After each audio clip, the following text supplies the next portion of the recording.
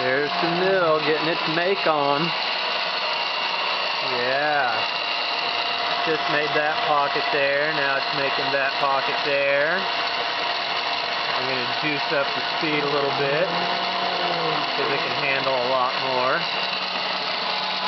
And there's this little working line right there.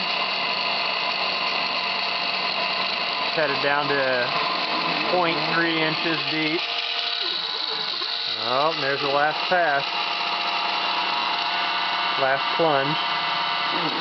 2.999, pretty close. So, there it is. It's going to be a bearing block. There's the drawing of it. There's the left pocket, the right pocket. There's going to be another pocket down that goes all the way through. It'll look like that. Minus this and minus that. The bearing will sit right in the center hole there for a stepper motor to mount on those four holes. And then the bolts will hold it on here onto a milling table for a mill bearing block. It'll sit on the big mill like this.